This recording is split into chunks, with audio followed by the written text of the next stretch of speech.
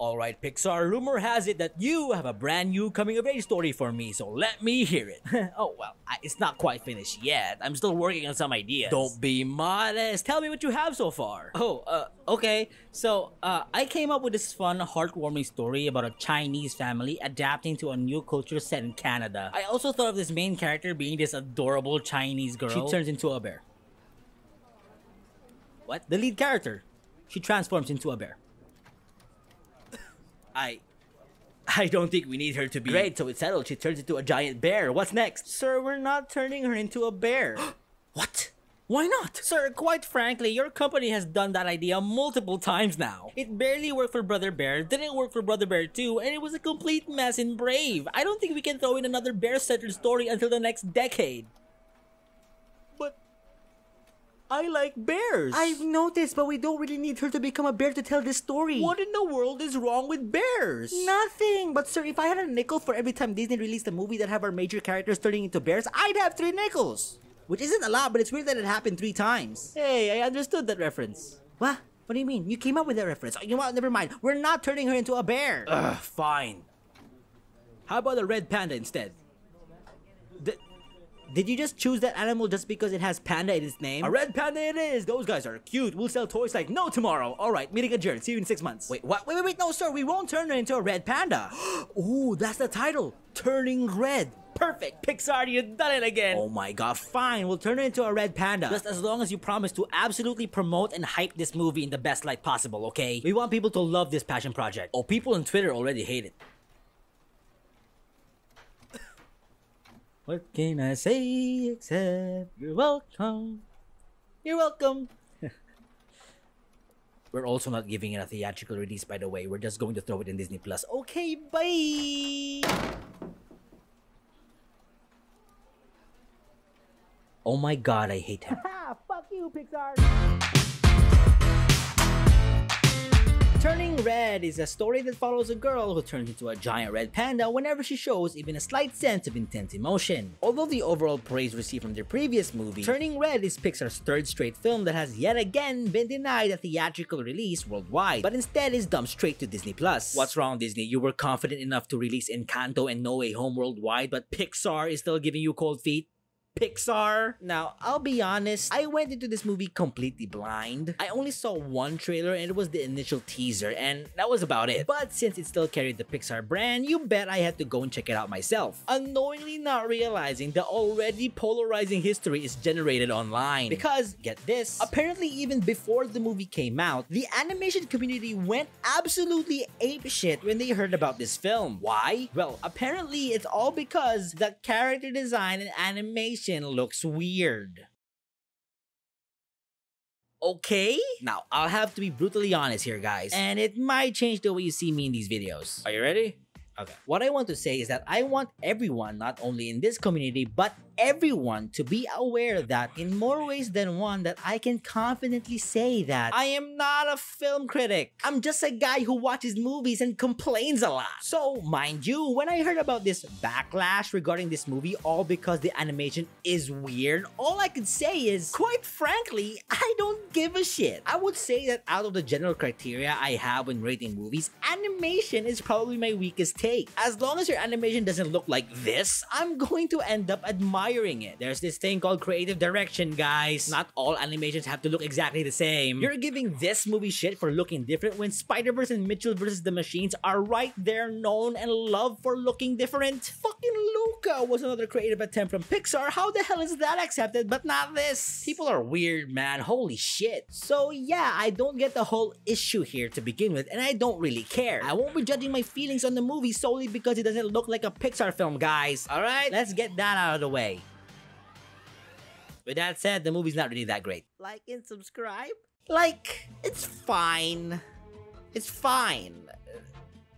It's fine. I wouldn't call it bad, but I certainly wouldn't call it great either. It's just okay. Basically, it's harmless. It's just another harmless slice of life movie from Pixar. I've already tackled this in my Luca review, but I'll just summarize it here. You see, Pixar has basically set its standards so high that we basically expect that each of their next release will be a masterpiece. It happened with Onward, it happened with Soul, it happened with Luca, and it's happening now. Granted, Turning Red would without a doubt be some other company's magnum opus, but by Pixar standards, yeah, this was pretty weak. The characters aren't really that interesting, the story is all over the place, and the climax, oh god, the climax. But the movie still provides some stuff to be admired. Though the hate, I actually really enjoyed the animation. It gave a pretty loud and creative fast-paced cartoon vibe, and I thought it was nice. And gave props to Pixar out of all Disney projects that include a character turning into a bear. This movie pretty much did a great job incorporating the bear aspect into a deeper meaning to the story. Congratulations! I don't know, it's just so weird that they still keep turning people into bears. I'm just so confused. So I just looked it up, and apparently red pandas are not bears.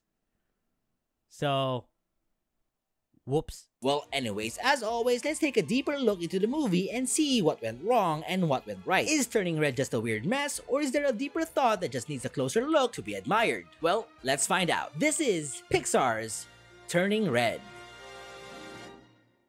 So the movie begins introducing us to our main character, Mei Mei, a 13-year-old girl who is probably the first ever character in Disney history to openly blurt out an English curse word. I feel so moved. oh, Crap. Shame. Also, you know what I found dumb? Her name is Mei Lin and her nickname is Mei Mei. Mei Mei. Motherfucker those have the same number of syllables. What the fuck is the point of the nickname? We're then introduced to Mei's circle of friends. And yes, as you'd expect, I do not like them one bit. I mean, Miriam's fine, I guess. But like the other two just got on my nerves just a few too many times, especially Abby. Like, I get what they were trying to do. Giving each character a distinct over-exaggeration of one particular trait is nothing new, but good god, this is not how you do it, guys. Priya being a deadpan monotone goth girl is fine, but both her line delivery and movements don't fit well with her character at all. Like, the best example to this is Rosa from Brooklyn Nine-Nine and April from Parks and Rec. They're deadpan and cold, but their movements and interests complement that characteristic. Priya basically shares the same interests and feelings as the rest of the girls. She just happened to just not smile. If that's the case, then why have her be a deadpan character? Couldn't you find another wacky trait that could have served the group well? Just look at this shit. Four Yeah. Come with us. Please. Let's go. Good god, fucking show some emotion for fuck's sake! And then we have Abby. Let's burn this place to the ground! What's wrong with that? It'll clear my mind. Just a little hit. Maybe some of you find this cute. I don't find it cute. Word to the wise out there, hyper doesn't always equal fun. This kid is just too annoying, it pisses me off. Whenever she's on screen, I can't help but just audibly tell her to shut the fuck up. I love it. Fight the power! Oh, shut the fuck up. In fact, here's a scene that completely summarizes exactly what I'm talking about. My mom cuts his hair at the salon, and I felt it. It's very soft. Whoa. Can I have some? Yeah, Abby, hook his sister up. Speaking of which, we see that the girls are flaunting over a teenage clerk in a nearby convenience store. All except Mei. Put a pin on that because it'll come up again later in the movie. Oh, and they also established that the group is also obsessed with a boy band named Four Town. We later cut to a Chinese temple where Mei works and lives. And here we meet her mom, Ming. That's my little scholar. Today, honor student. Tomorrow, UN Secretary General. And yeah, as you can tell, the movie is clearly setting up a story about the family setting high expectations to their child to accomplish the parents' dream and not their own. Oh my god, that's your main attraction? How are you not bankrupt? Fast forward at dinner time, and we get to meet the best character in the entire movie, Mei's dad. He doesn't really do much in the movie except for a heart-to-heart scene later. But other than that, he's pretty funny as a background character. Some of the kids at school like him. You mean Miriam? That girl is odd. What? Miriam? Bitch, have you met the other two? Now, remember the pin we had earlier? Well, while studying, Mei somehow starts to think of and feel something towards the guy. She then proceeds to go on a deviant art rampage and starts sketching some shit I am too scared to think of.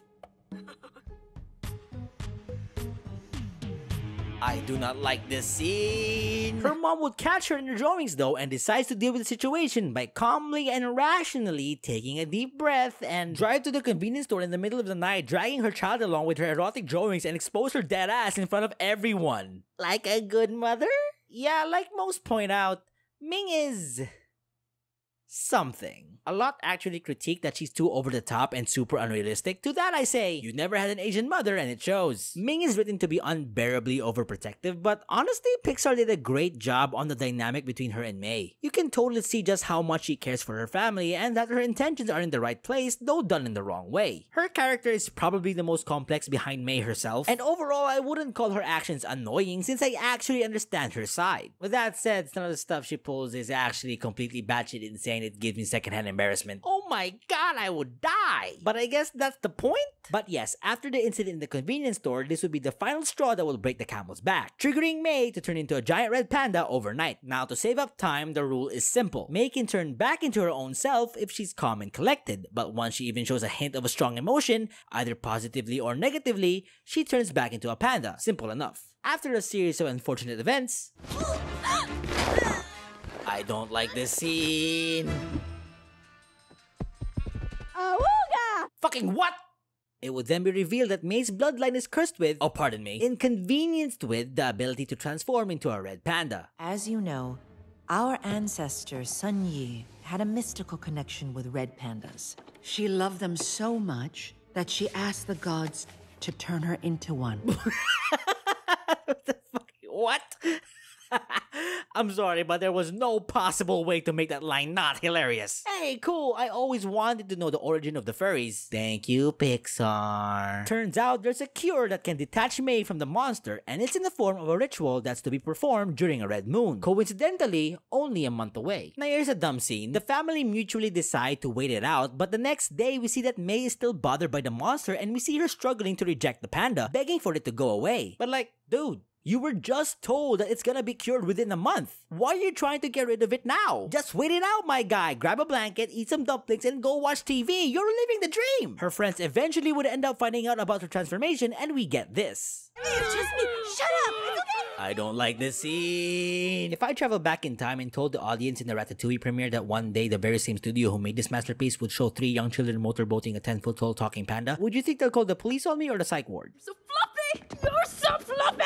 Oh my god, wait a minute. Was that a Despicable Me reference in a Pixar film? I've always wanted a tail. Fucking what? And now finally, we get to see our character's main goal to attend the Four Town concert. Mei also gets to find out that being around her friends keep her calm, which means no more panda. With this newfound knowledge, Mei goes and asks her mom's permission to go to the concert, in which she then gets rejected. Also, I like this little detail here where Mei's wearing the very same blazer her mom was wearing in the scene prior. I don't know, I think it's cute. Back in school. Wait, what? Why are you back in school? There's still a chance that you can still turn into the 10 foot tall talking red panda. She can't just stay home for the month?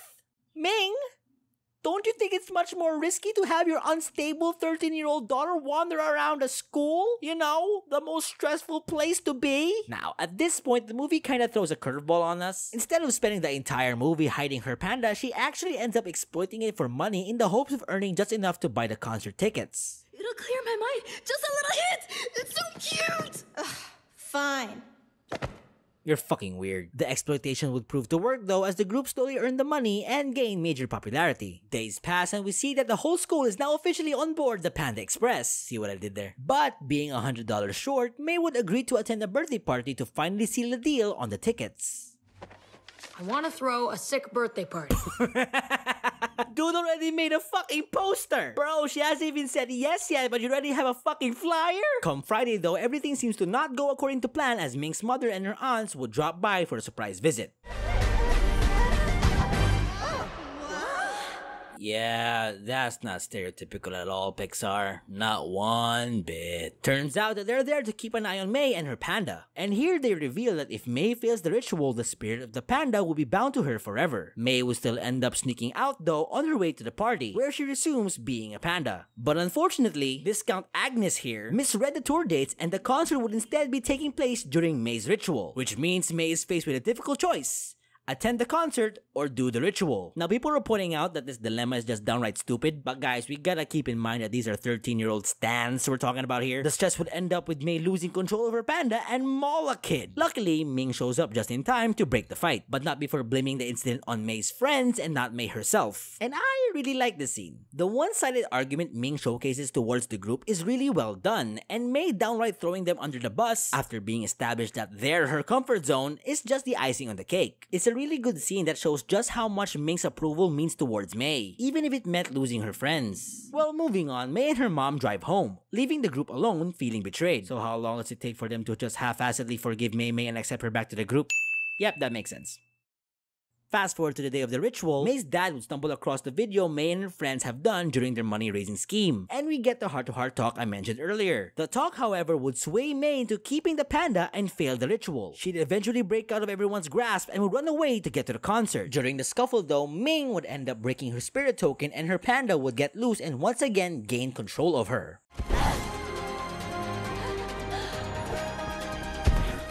What? She can jump like the Hulk now? What kind of Scooby-Doo bullshit is this? And here we finally reach the climax of the movie. And yeah, it's pretty boring. They reveal Ming's panda will be the size of Godzilla and the whole climax revolves around everyone trying to turn Ming back to normal. All while both mother and daughter are quote, fighting. Is this bothering you? We just witnessed a Pixar character twerk, folks. Pack your bags, it's over. Really? This is our climax. Like, I know stakes don't really need to be high to make a good movie, but really?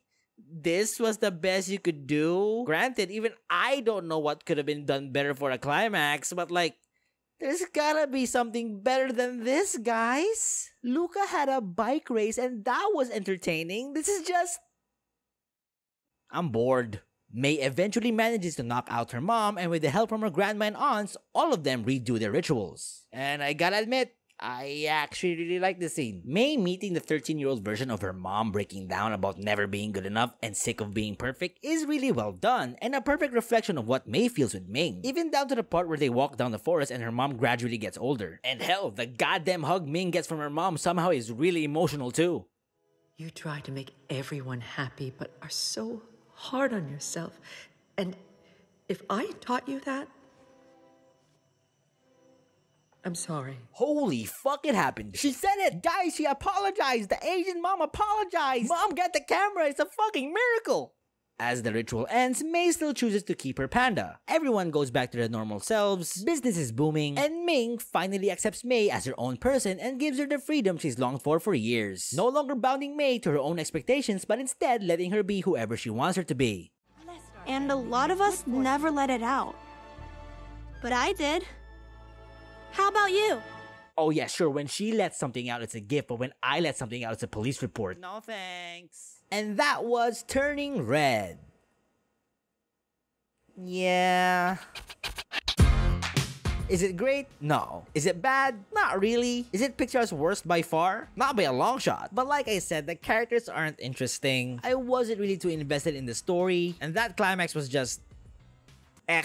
But granted, the movie does look great though. The style is clearly influenced by the likes of some Chinese animations while also taking a lot of inspiration from an anime style point of view. This would be a major factor too as most of their comedy heavily relied on their facial expressions rather than dialogue. Mei and Ming's mother-daughter dynamic is also handled pretty well. This could have easily been botched if not given the proper amount of focus, so I commend them for that. And I do have to admit, the bear really was well incorporated into the storyline, more than it's given credit for. I think a lot of people people overlook that aspect too. Like, I get that we all took the red panda as a metaphor for Mei's period in hitting puberty, but I think a lot of people didn't catch on that it also served as a symbol for lost heritage that most immigrant families fear when moving to a whole new different country. Mei keeping her panda is a take where she's finally on her own and has accepted change, no longer burdened on the idea that she has to willfully carry the dreams and expectations set by her mother. True, this also means she's given into the western culture, but the small detail that she still uses her panda to help out with the temple a good compromise, something most immigrant families should practice. Yeah, it's weird a lot of people didn't catch that. The red hair plus partying kinda gave it away immediately. But I don't know, maybe this is more of an Asian thing to notice. But hey, that's one of the perks of being Filipino. I'm Latino and Asian. I can claim Encanto as my own, and I can claim this as my own. Suck it, bitches! Overall, Turning Red has a deeper story to tell but struggles to execute. It has its fair share of lows and its fair share of highs. But that doesn't mean I still didn't find myself entertained in some certain parts of the film. So yeah, it's weird, it's a mess, but the heart is still there. And that's why I'm giving Turning Red